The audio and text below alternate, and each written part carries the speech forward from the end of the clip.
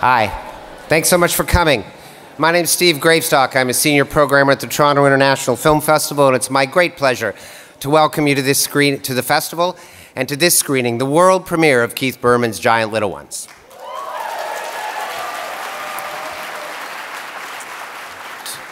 To begin, we'd like to acknowledge that tonight's event is taking place on the treaty territory of the Mississaugas of New Credit and the traditional territory of the Haudenosaunee and the Anishinaabe and the Huron-Wendat. We're grateful to have the opportunity to work in the community. As part of TIFF's commitment as part of TIFF's commitment to engaging youth in the festival's programming, our TIFF Next Wave Committee selected this film for the next generation of movie lovers. The TIFF Next Wave Committee is supported by the Slaight Family Foundation, sorry, Slaight Family Foundation Learning Fund. This film is eligible for the Canada Goose Award for Best Canadian Feature Film, the Grolsch People's Choice Award. Vote for your favorite films at tiff.net slash vote, and we'd like to thank Mongrel Media, United Talent Agency, and Celluloid Dreams for providing us with the movie this afternoon.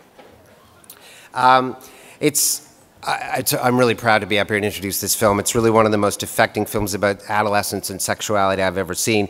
It captures both that sense of total freedom and possibility that characterizes uh, being a teenager and also the, the kind of social pressure uh, you're under to sort of decide your life. Uh, it's rare to see that in any work of art and certainly a movie. Uh, it's propelled by some sophisticated direction by Keith Behrman, who you remember from Flower and Garnet a couple years ago. Sensational debut and a truly brilliant cast featuring veterans like Kyle MacLachlan, Maria Bello, and Peter Outerbridge, and a great young cast led by Josh Wiggins, including Darren Mann and Taylor Hickson. Please join me in welcoming the director, Keith Behrman.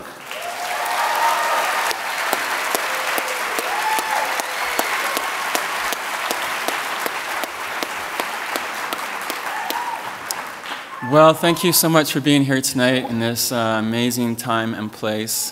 Thank you so much, uh, Steve and all of TIFF, for hosting us and bringing us to the film. It's truly an honor to be here.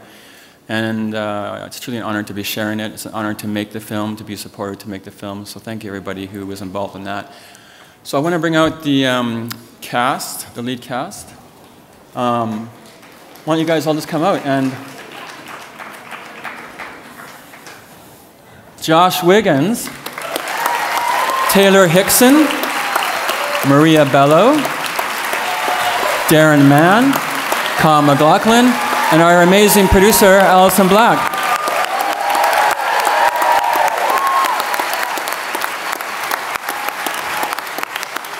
And that's it. So we're going to leave, and we're going to come back after and do a Q&A, and I hope you enjoy the film. Stick around, we'll be back. Once again, please welcome back Josh Wiggins, T Taylor Hickson, Darren Mann, Kyle MacLachlan, Maria Bello, producer Allison Black, director Keith Behrman.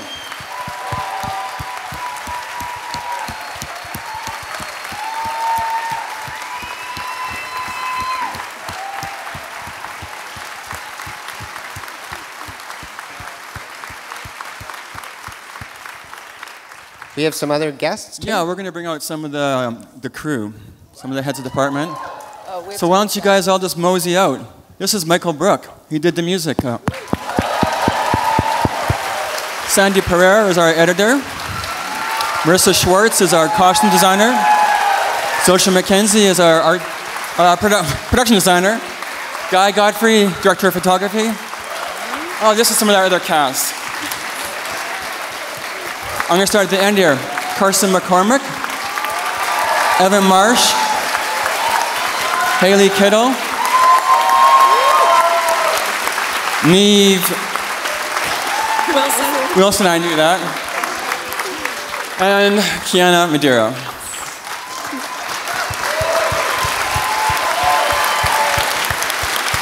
I was really scared I was going to screw that up. Anyways, well, thanks everybody. This is the people who made this film.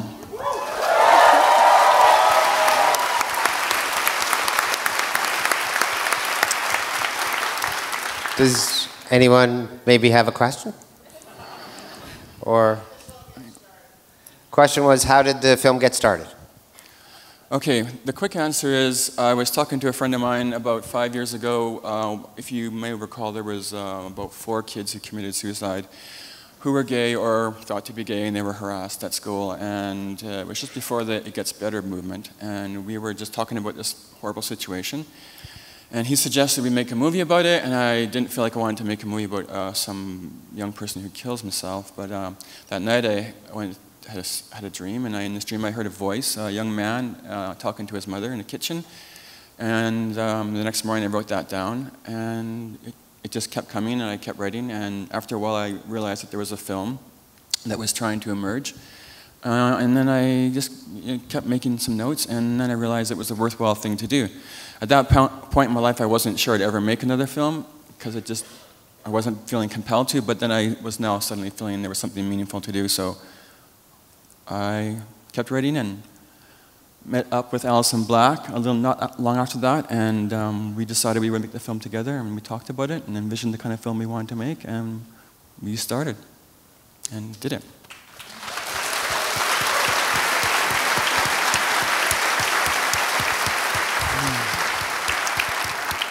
Next, just wait. Anybody in the balcony got a question?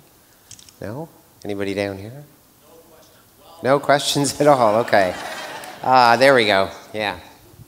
Go ahead. Yep. In the hat.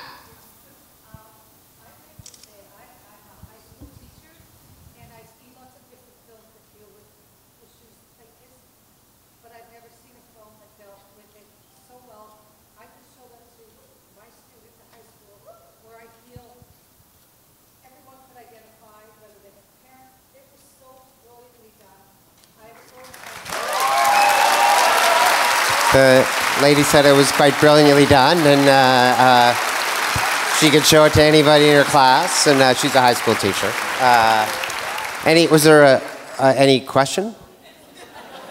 That was great, though. How Not, dare you? Yes. right there.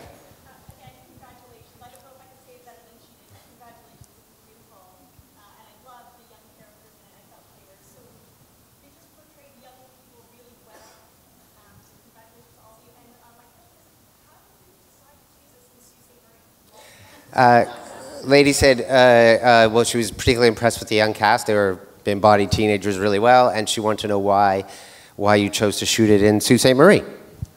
Well, when we were developing the film and writing the film, um, one thing I knew I really wanted to have was I wanted to have a lot of uh, life and vitality and a lot of greenery and a lot of sense of sort of wonder and, and beauty of the world and life and energy.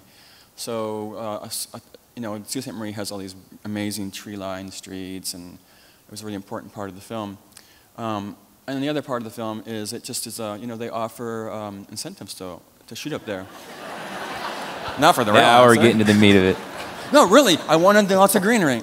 Um, so I got, we got both. Um, so, you know, it's a very supportive program, and, and it's, it's fantastic. You know, it really helps films get made. So I have a lot of gratitude to those people. You guys have shot a lot of films in Sault Ste. Marie, though, Do right, Allison? Allison? Oh, great. Leave these microphones just appear. Yeah, this is my third film in Sault Ste. Marie, actually. If anyone here is from Sault Ste. Marie, What's the name shout out. I'm blanking on the cheese shop. Maria and I are known What's as. the great cheese shop in Sault Ste. There's a great cheese shop, guys, if you want to go. And amazing uh, extras. But Sault Ste. Marie is amazing because it's such a welcoming community. But you know, Keith and I also really wanted to do is make this film feel like um, people can really recognize a community or a city or small city. It's not necessarily, you know, this extraordinary metropolis of Toronto where these things are going on. I just wanted people to feel like it was recognizable. And that was one of our choices for Sault Ste. Marie, for sure. Um, but we really wanted to make it feel like, one of the things that's most important to me is making a production feel like a family environment. And Sault Ste. Marie feels like family, but they also just roll out the carpet for us and just make everybody feel at home. And, um, and that makes a difference in what you see on screen. So, yeah, I think I really want to thank the financiers who helped incentivize that, but I just really want to you know, say that's what it's about. Because if you see good energy on this screen, it's because of all the good energy here and how everyone felt when we were shooting it. So thank you to everyone and to the city.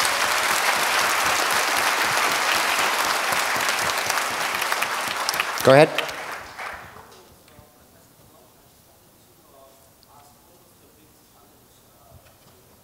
gentleman said the film was fantastic, and, but he wanted to know what was the uh, biggest challenge or obstacle making the film.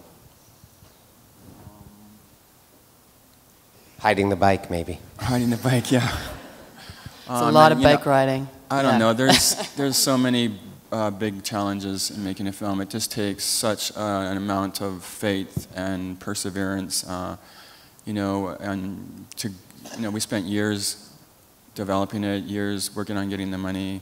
You know, and Allison worked so so hard uh, to make. Well, hang on a second. I just want to say, actually, we spent we did spend years developing the script because we really wanted to make it right, so that we you know we tested it with high school students, we tested it on every age group, and so many people just to make sure it was right. And then when it was right, it was actually very fast to get the money. So I actually don't. I want to just, Okay. brother, I want to correct you there, Producing is way easier than you Producing's think. way- Yeah, it, it wasn't that hard. because they Um, responded to the script and and the vision for Right. it. So that's all I want to say.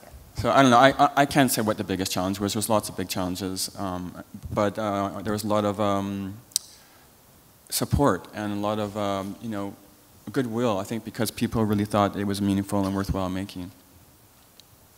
There was... What's your question? She's had her hand up for so Taking long. over. Oh, okay, thanks. Good job.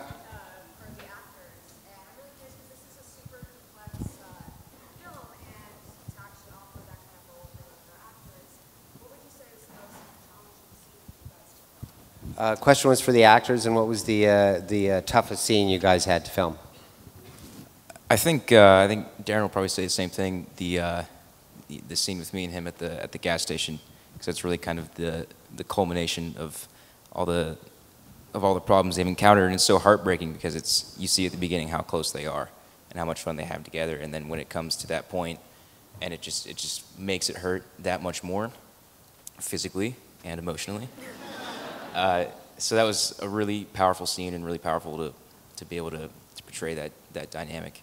But I mean, there's there's so many. I mean, Yeah, I mean uh, that that scene at the gas station was definitely the most challenging, is one word to say, but it was also, um, thanks to Keith's great writing, it was also a lot of fun to play because there was so much there for me to work with and layers between what I'm dealing with with my friends and where I stand within my social circle, but also I love him so much. So it was challenging, but it was also really fun to shoot as well. So yeah, probably Yeah. the swimming was the hardest for me.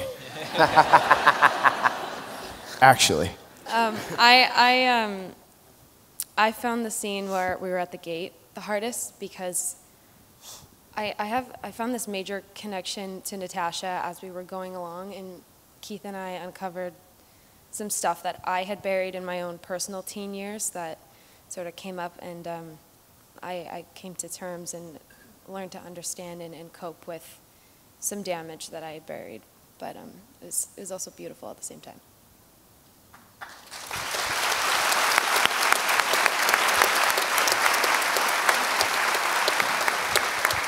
Go ahead.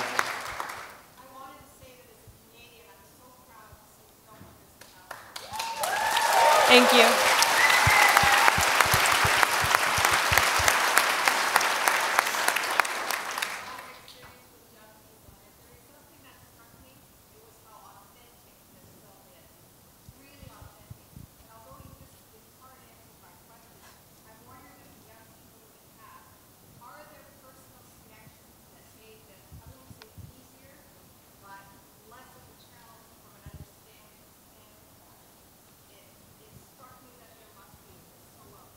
The lady is proud to be a Canadian after this film, and uh, was very impressed with the authenticity of the film. And she wanted to know if you guys had any. Was there a connection that with the with other people or the characters that made it easier for you? A personal connection.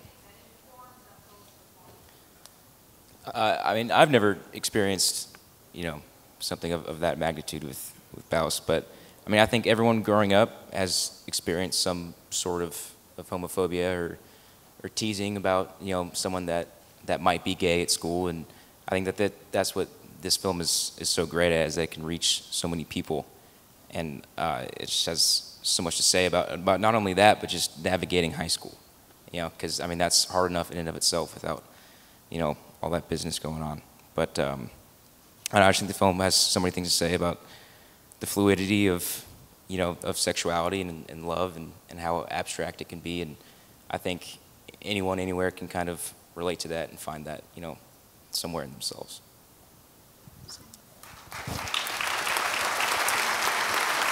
I, I, um, I know we talked a lot about the, the younger characters, but I thought that the, the, the uh, father and mother were also exceptional. Yes.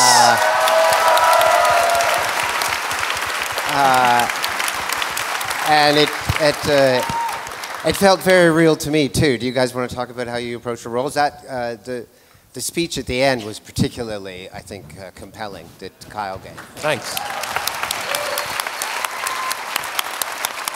Thank you.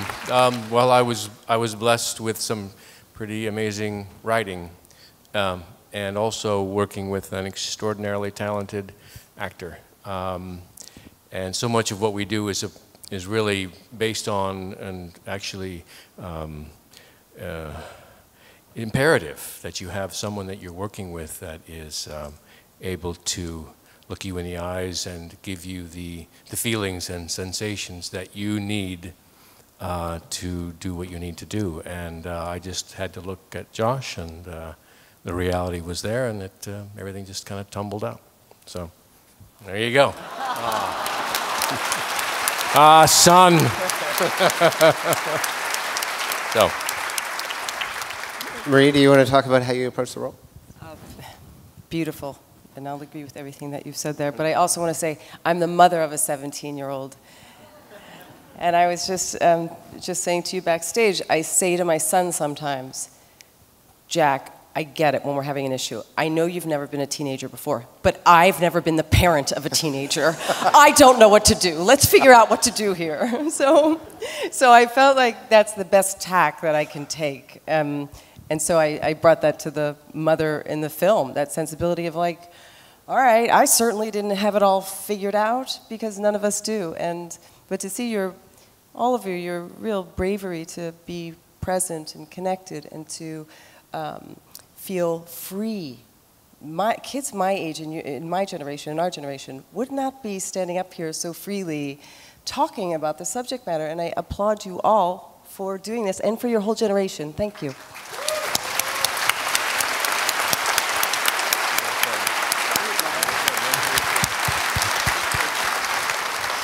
In the front there. Um, further to that, I, the, the script and the performances, I connected with every one of them, and I think that all came together beautifully. So I was wondering, with the actors, when you were reading the script, if there was a scene or a line that had an impact or or spoke to you, you know, that that you could share with us. Was there a, particular scene or line that really spoke to you guys when you were first reading the script, or just in general? Anybody?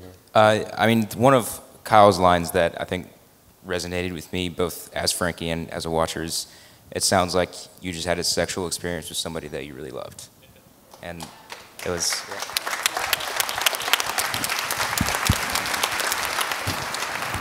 And at the time, you know, Frankie's just kind of blown away by the simplicity of it all, you know? And I think it just delivers it in such, such an efficient and such a, yeah, nuanced way that is, is really impressive.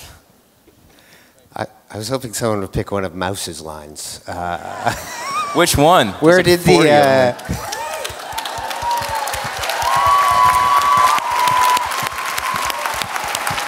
can we can we have a, a breakdown of the uh, development of the uh, um, accoutrements? Uh, how did how did that sort of come about? Uh, I want to give it to him. Don't put it in your pants. Um, sorry, could you repeat that? Really? Uh, I, I just want to know how the uh, the sock thing developed and how Um, that uh, where it came from or where. okay. um, my mom was saying this to Keith earlier, but like when I first auditioned for it, that um, that scene between me and Frankie on the porch was what I auditioned with, um, and obviously in it she's like, "Uh, "Yeah, I'm wearing a sock cock. It's a tube sock wrapped in elastics," um, and my mom kind of teased me mercilessly for it. Um, uh, just because like I was clearly like uncomfortable channeling this like character that I didn't really have any like firsthand experience with. And she tried to like kind of normalize it for me so that I could be able to like be this character.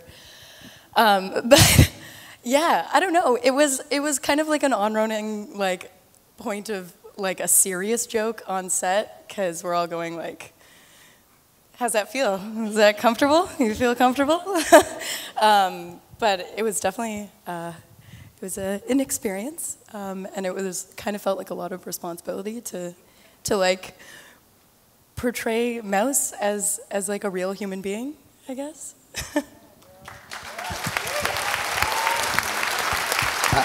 This will have to be the last one, the gentleman there.